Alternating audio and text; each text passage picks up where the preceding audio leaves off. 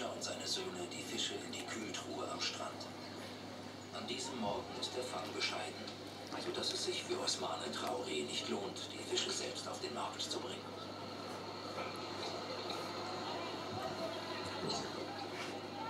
Die Erbuktu nähert sich Bamagungu. Die Fischer der Insel warten schon sehnsuchtsvoll auf die Pinasse mit dem frischen Eis. Die Besatzung macht sich daran, die Kühltruhen zu tauschen.